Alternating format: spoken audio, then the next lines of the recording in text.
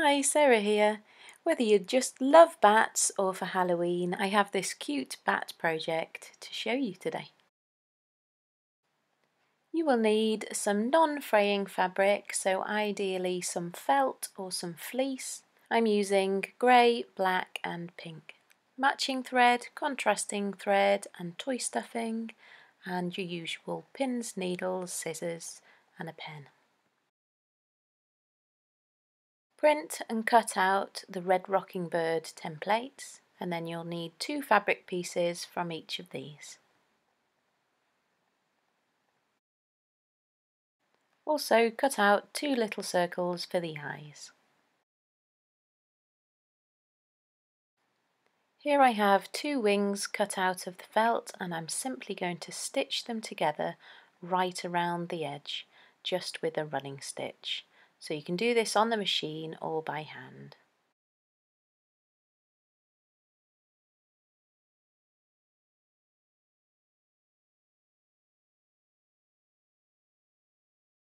I've sewn right around the edge and now I'm going to secure with a knot.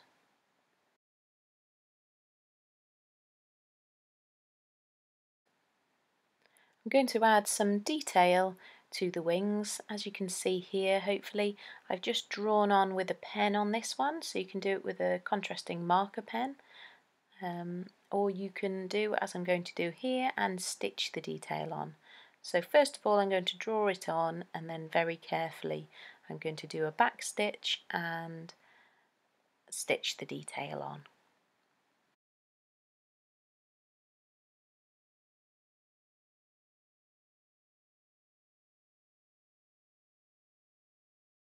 This just gives an extra bit of detail. If you want a quicker project, then you don't need to do this. And I've also stitched round and added the insert bit to the ears. So set these aside for now and we're going to take the body pieces. So we need a piece of cotton thread with a knot on the end and then take one of your body pieces, right sides together, fold it down the centre there, and we're simply going to sew these darts up here. So just take your needle and we're just going to do a nice simple running stitch from this middle corner right out to the edge.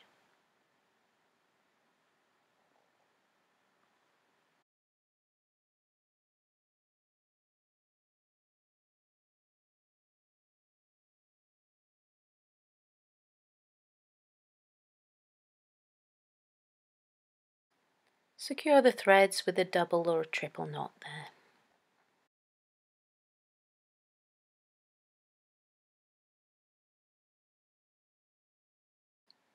Repeat this for the other three darts just exactly the same. Now take the two little eye pieces of felt and we're going to pin them in place and then stitch nice and neatly with um, a matching thread to the eye and just try and tack them in place so that it's a nice invisible stitch right around the outside of the eye.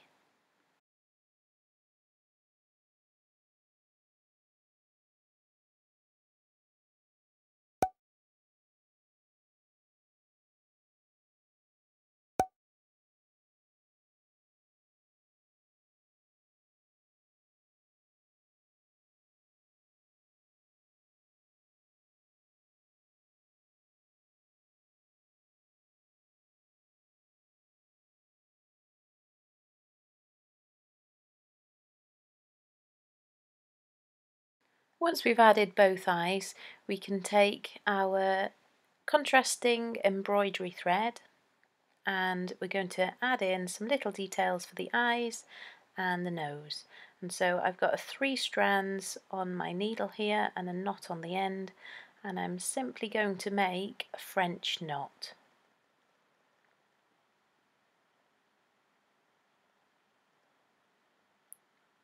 Keep this end of the thread taut and wind your needle around four times.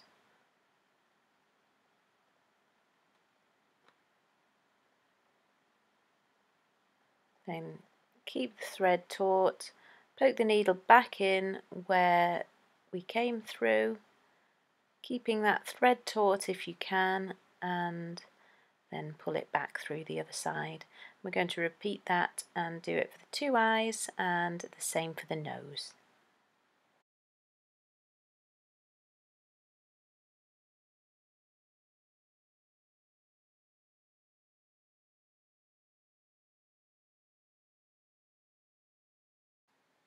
If you've not done a French knot before, then maybe just practice on another piece of fabric till you get the hang of it. See here, I'm just doing another one, and I've kept it quite a loose French knot so that it gives it a fuller nose. But as long as you get the same tension on the the thread for both, and you get the same size French knot for both, it doesn't really matter really. Just practice and see how you get on.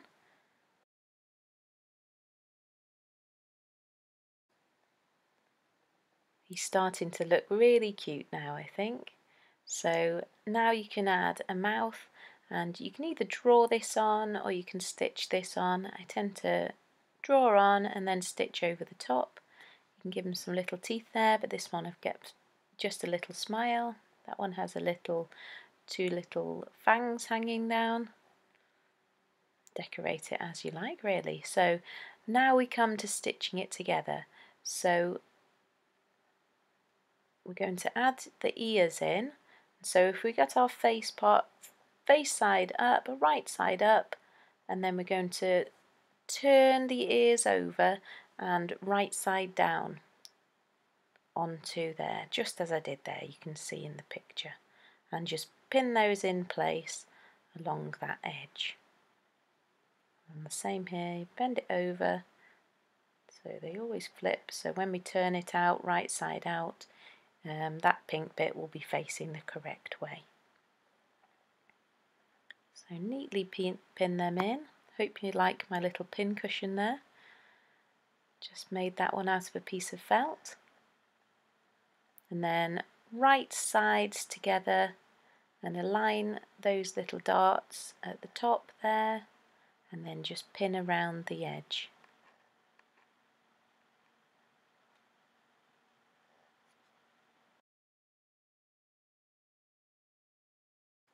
And then I'm going to add one pin in about centimetre, which is a third of an inch, away from the ear there. Add a pin there and then the same here. One centimetre or a third of an inch away. Approximately, as long as it's both the same both sides, add a pin there because that's going to define where we're going to sew. We want to sew just this top bit. So we're going to sew right round the edge from the pin to pin and we can just do a nice running stitch making sure we have some nice fine stitches in there so that we can really grab hold of those ears and make them tight and secure in there so they're not going to come out. So I've done that, I've sewn right around the edge and we can simply now just take the pins out.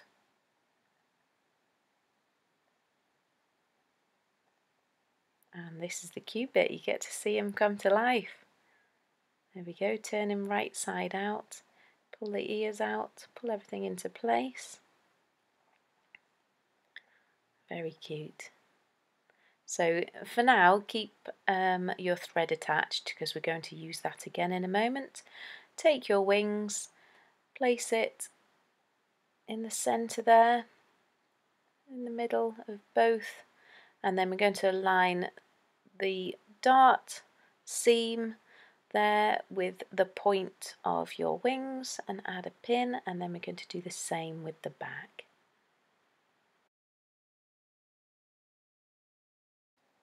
Add more pins if you're more comfortable doing that but we're simply now going to stitch around the edge of our bat body so that we attach the wings in between and as I go I'm going to tuck um, the edge of my fleece fabric in but if you've used felt for the body as well just leave it on um, the edge and just simply um, sew it on directly sew it on. Just make sure you've got him in place and then simply just do stitches from back to front back to front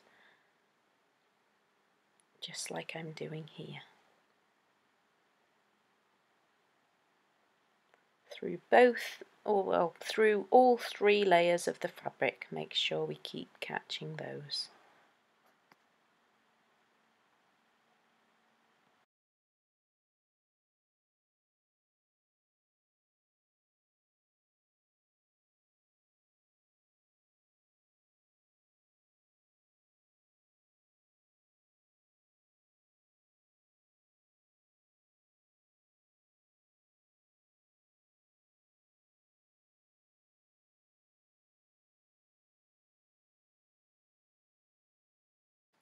We're going to continue right round and sew right to about here and then we're going to stop because that is where we'll need to add the stuffing.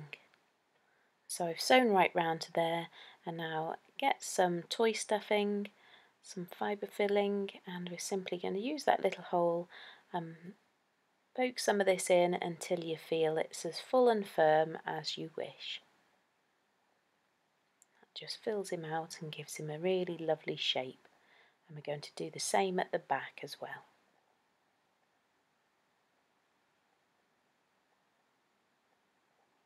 Keep taking a look at him and just think, thinking, is he full enough yet? Should I add a bit more?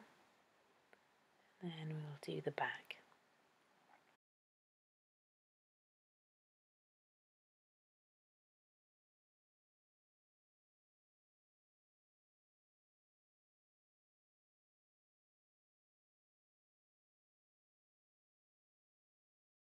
Once you have added enough stuffing, you can just straighten him up a bit, add a pin in if you need to, and then we're just going to sew that gap closed exactly as we did before, trapping the three layers of the fabrics through.